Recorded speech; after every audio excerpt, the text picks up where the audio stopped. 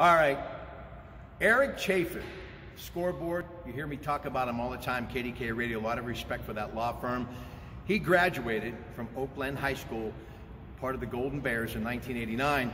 Let me just say this it's such a small world.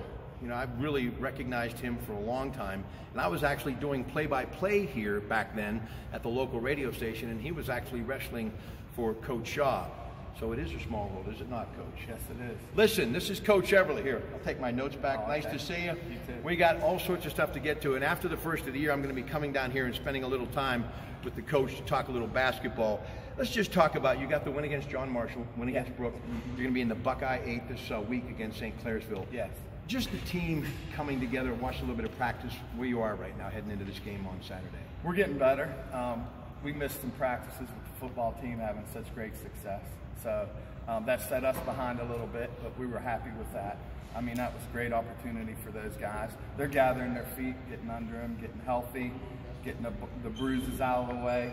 And uh, I think we're starting to really step up to where we want to be. The big win against John Marshall, that was huge for us, gave us some confidence. And, and now we're trying to get on a roll against a very tough. Clair's. Yeah, in that John Marshall 66-56 win, Zach Taylor had 19 uh, for the Bears in that game. We're going to come back, lots more to get to, plus we're going to stroll down memory lane. This is our initial visit to the Golden Bear Den to talk basketball, and beginning January the 8th, I'll be spending time with them every week throughout the season. We'll be back with Coach Everly. Stay with us.